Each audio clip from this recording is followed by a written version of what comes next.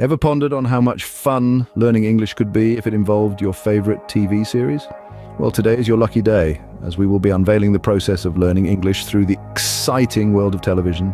Firstly, it's important to grasp why TV series make for an excellent language learning tool. They provide an immersive language experience, giving you the opportunity to listen to native speakers, comprehend their dialogues and learn their everyday expressions and slangs. It's like getting a language lesson while being thoroughly entertained.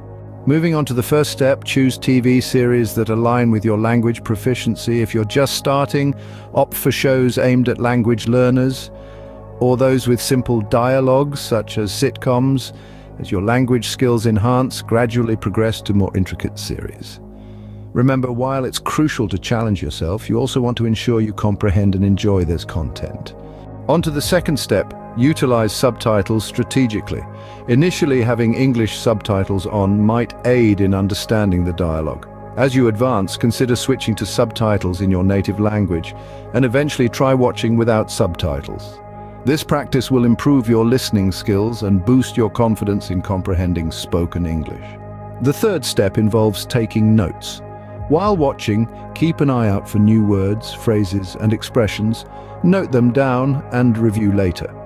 This practice enables you to reinforce your vocabulary and study the context of words usage. You'll marvel at how swiftly you can enhance your language skills by actively engaging with the content. Now, the fourth step, practice speaking.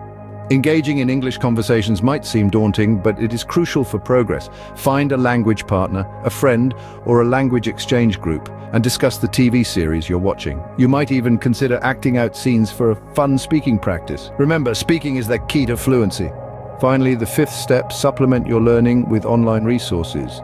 Numerous websites and apps provide additional materials related to the TV series you're watching. They offer episode summaries, character descriptions, and even quizzes to test your understanding. These resources will enrich your learning experience and give you a deeper insight into the show's content. In summary, learning English through TV series can be both enjoyable and effective.